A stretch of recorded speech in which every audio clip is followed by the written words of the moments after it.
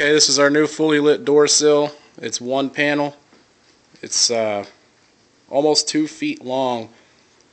It's lit up. I'm going to light it up here in a second in the dark so you guys can see how much actually illuminates. There it is. It's got all the text. This customer wanted the uh, Cybertron font on here. As you can see, it's all lit up all the way across. Something really cool. You tie it into your footwell lighting systems or your dome lights or map lights or anything like that. And come out when you open the door. Look really nice. And uh, we have these in several different designs. GM licensed really soon.